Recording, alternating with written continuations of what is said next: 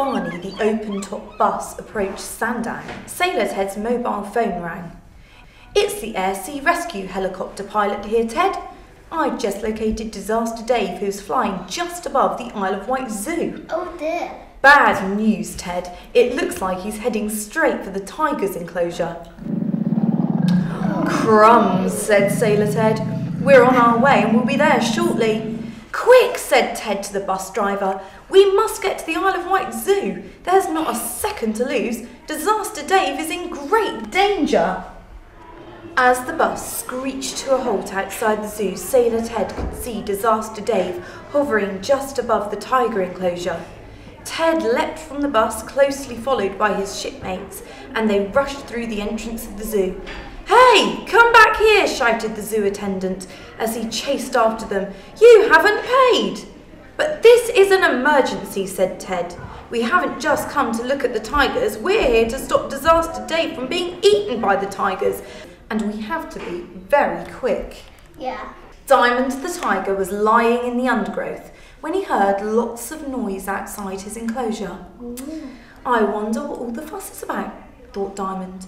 I was having a nice afternoon snooze and now I've been woken up by all this noise. Oh dear. He could see lots of people excitedly pointing up to the sky at what looked like a very large bird.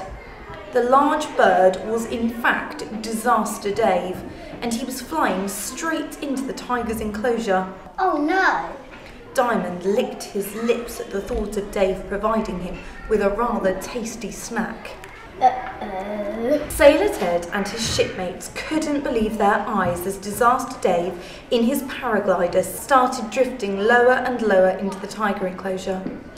Diamond the tiger was now watching most carefully as Dave came closer and closer to him. Dave was now hovering just above the tiger and was very scared indeed.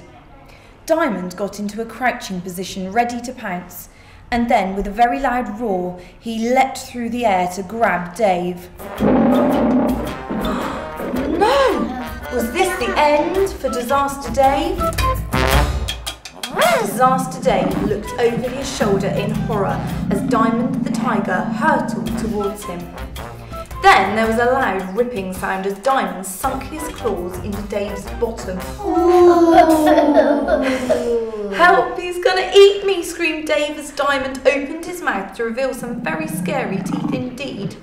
Sailor Ted couldn't bear to watch and put his hands over his eyes. That's what I would do if I saw something like that. I mm, bet.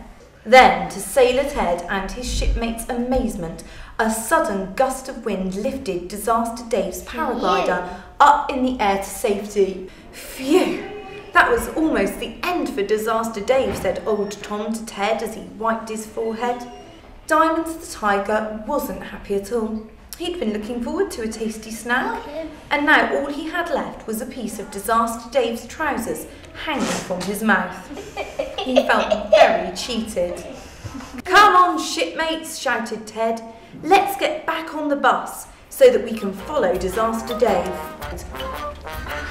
Hi, Sailor Ted. Hello, Sailor Ted. We're enjoying your story.